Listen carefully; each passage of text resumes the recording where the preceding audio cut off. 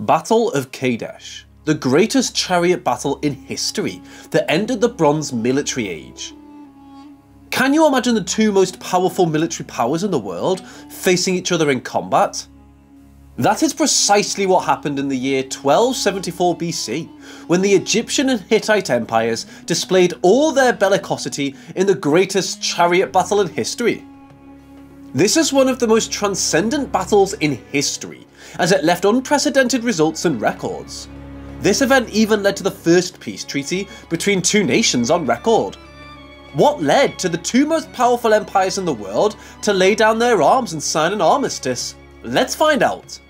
Background 1200 BC witnessed a huge series of events important to the course of history, as it saw the end of the Bronze Age, the fall of great empires and civilizations, the end of the world known up to that time, and the birth of a new world. Egyptians and Hittites lived in an excellent present, since both empires enjoyed a military strength superior to the rest of the empires of the Near East. This military parity sowed in both empires a need to subdue the rival, so that tension was constantly growing between the highest rulers of each civilization. In addition, the borders that they had in common made this tension grow more and more, but the imminent war was postponed due to different agreements that were carried out.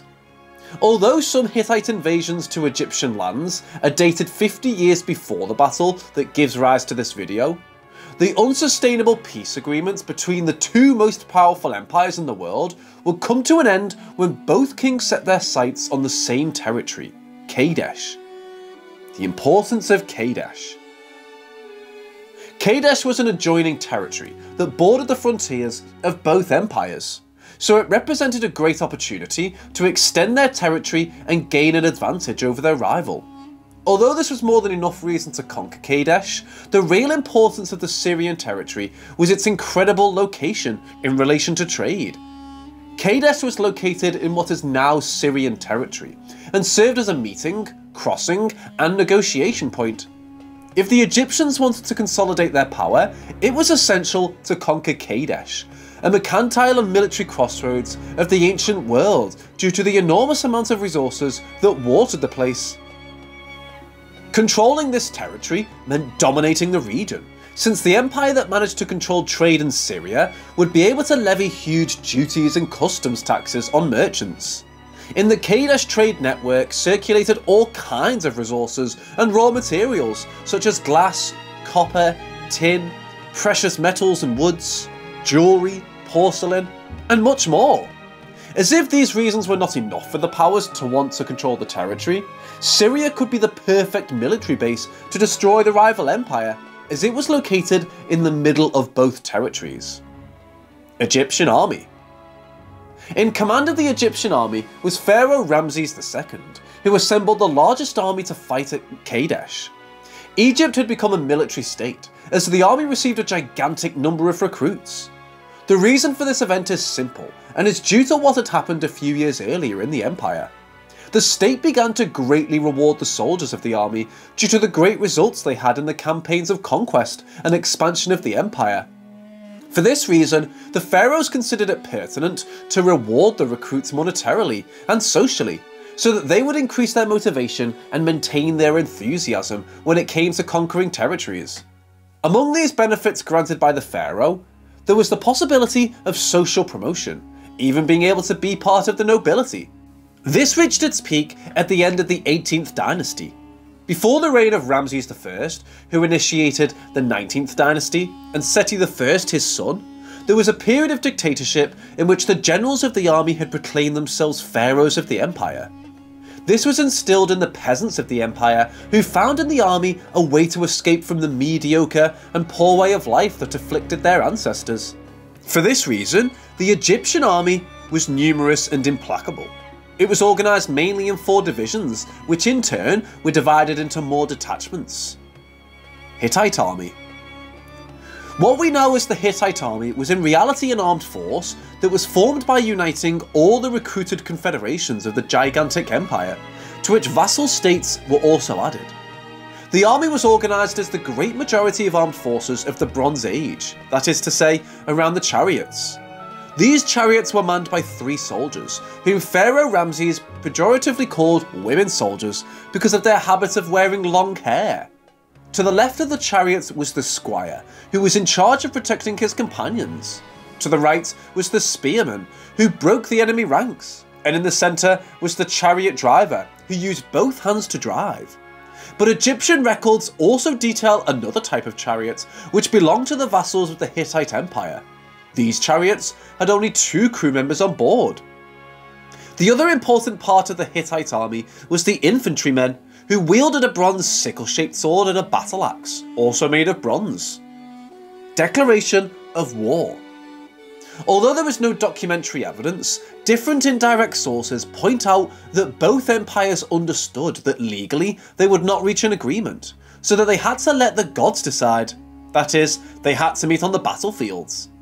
Having exhausted the diplomatic instances, the pharaoh Ramses II led the advance of his army towards the battlefield, directing the divisions by different places.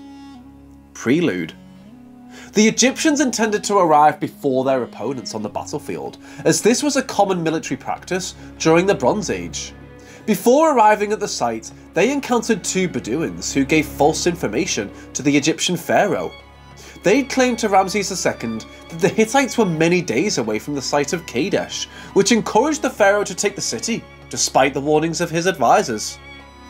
Battle the first Egyptian squadron arrived at Kadesh and quickly began to set up camp to await the other three squadrons. Ramses II ordered his soldiers to dig a perimeter moat to form a kind of fortress, which was also common in Bronze Age combat. After again interrogating the Bedouins and subjecting them to torture, Ramses II heard the news he did not want to hear. The Hittites were fully prepared to attack just a few miles away. These Bedouins had been sent by the Hittite king to give false information so they could attack by surprise. Their plan worked, as they were able to violently attack the Egyptian camp while Ramses II waited for the rest of his men to arrive. His attack was extremely effective, but not as effective as the king would have wished, as Ramses ordered the defence almost instantly after the Bedouins told him the true intentions of the Hittite king. Muwatalli, the Hittite king, was almost cut short by his own men, as they became overconfident and began to loot the Egyptian camp instead of taking advantage and ending the battle quickly. The Egyptian army was able to reorganise and resist the onslaught of the enemy, and they slowly made the transition from defence to attack, and the battle became balanced for both sides. When the rest of the Egyptian soldiers arrived to the combat, the Hittites began to be in trouble, since all their strategy resolved around the heavy chariots that were only effective at the moment of breaking lines. The Hittites fled to avoid a massacre and took refuge in their camp. End of the battle. The battle can be considered a draw, as the Egyptians managed to drive out the Hittites, but they took heavy casualties and could not hold Kadesh for long, as the Hittites could easily regain the territory. Therefore, both monarchs proposed a truce, which originated the first peace document between two nations. Treaty of Kadesh The Battle of Kadesh gave rise to the Treaty of Kadesh, which is the first peace treaty in history. This treaty is perfectly preserved in the Museum of Istanbul. It was written on silver plates in Akkadian language and hieroglyphics. Sources describing the battle as mentioned before, this battle was described in detail by Ramses II, who had the battle commemorated on the walls of five temples. In addition, there are different Egyptian works that allude to this battle. According to many historians, it is the only battle of antiquity where the tactics and strategies of both warring sides are known. We have developed the battle with a very superficial criterion, since there are very interesting details that we have not been able to include due to time constraints. If you want to know more about such an incredible and transcendent combat as the Battle of Kadesh, we invite you to post it in the comments. Likewise, if you have data or opinions that you consider have been omitted, you can comment respectively. Don't close the video yet. Before you go, please subscribe and leave us a like if you like the content. It will help us grow and keep making much more content. Now, without further ado, we say goodbye